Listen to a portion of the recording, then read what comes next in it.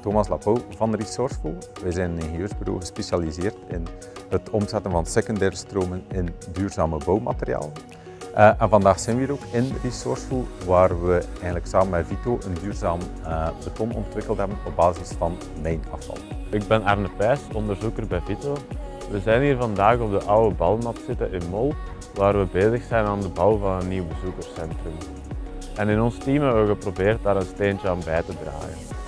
In het NIMO-project ontwikkelden we samen met Resourceful enkele circulaire betonmengsels op basis van wijnafval. We hebben dat gedaan in het kader van het eh, Horizon 2020 NIMO-project, waarbij we echt de maintailing uh, onderzocht hebben van A tot Z en omgetoverd hebben in een duurzaam betonnen recept voor transportbeton. Een voorbeeld daarvan kan u hier zien, een stortklaar beton als onderdeel van onze parking van het nieuwe bezoekerscentrum.